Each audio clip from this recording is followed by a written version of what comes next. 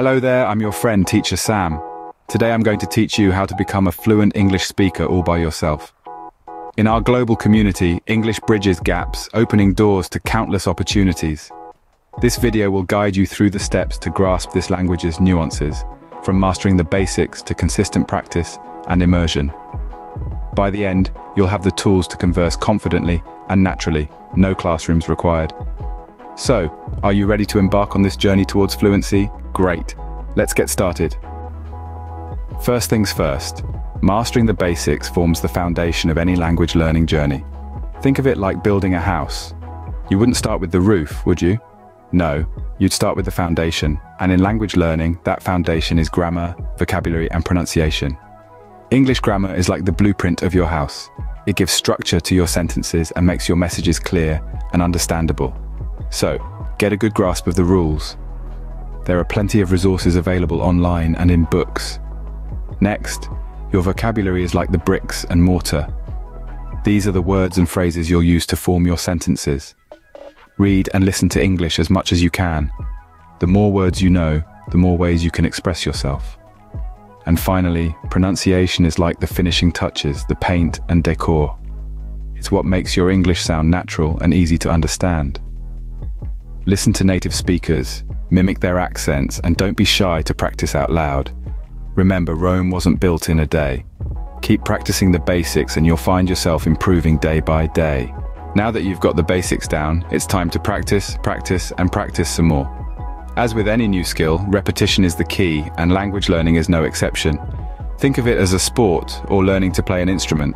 The more you do it, the better you get. There are so many ways to immerse yourself in English.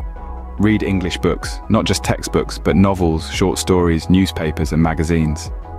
This will improve your vocabulary, grammar, and understanding of how sentences are constructed. Listen to English music or podcasts. You'll get used to the rhythm and intonation of the language. It can also help you understand different accents and dialects.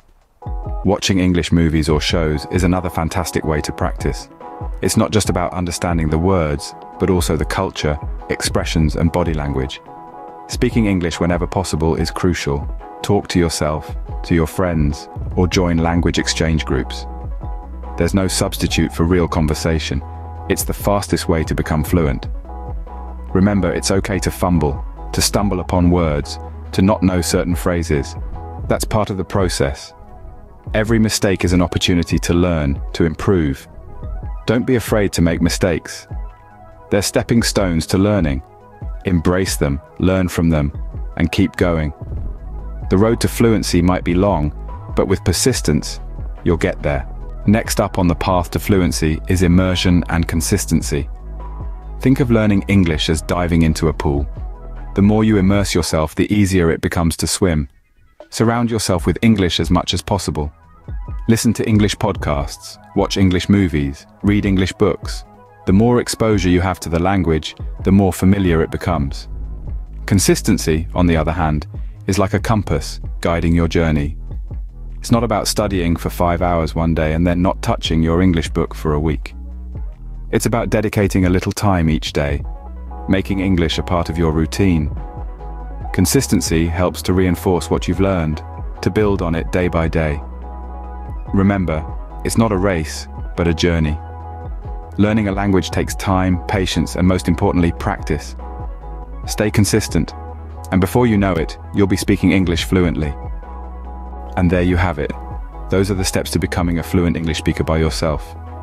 We started with the basics, reminding you that a strong foundation in grammar, vocabulary, and pronunciation is crucial. We then moved on to the importance of practice.